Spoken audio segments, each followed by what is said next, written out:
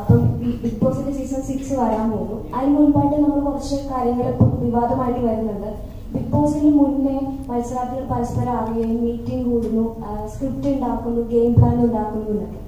ഈ ഒരു കാര്യത്തോട് അഞ്ജലിയുടെ പ്രതികരണം ഫസ്റ്റ് ഓഫ് ഓൾ ഞാൻ ആദ്യത്തെ സീസണിൽ എനിക്ക് തോന്നുന്നു രണ്ടായിരത്തി പതിനേഴ് രണ്ടായിരത്തി പതിനെട്ട് സമയത്താണ് പോകുന്നത്. സോ എനിക്ക് ആ സമയത്തൊന്നും ബിഗ് ബോസിനെ കുറിച്ച് ഒന്നും അറിയില്ല. അപ്പോ ഇപ്പോഴത്തെ പോലെ പ്രഡിക്ഷൻ ലിസ്റ്റോ അങ്ങനെയൊന്നും വരുന്നുമില്ലായിരുന്നു. ഓരോ ചാനൽസിലോ ഓൺലൈൻസിലോ ഒന്നും അങ്ങനെയുള്ള പ്രഡിക്ഷൻ ലിസ്റ്റ് വരുന്നില്ലായിരുന്നു. എനിക്ക് തോന്നുന്നു ഇപ്പൊ ഒന്നുകൂടെ എന്താ പറയാ ആരാ പാർട്ടിസിപ്പേറ്റ് ചെയ്യണമെന്നുള്ള മനസ്സിലാക്കാനുള്ള ഓപ്പർച്യൂണിറ്റീസ് കുറെ കൂടെ ഉണ്ട്.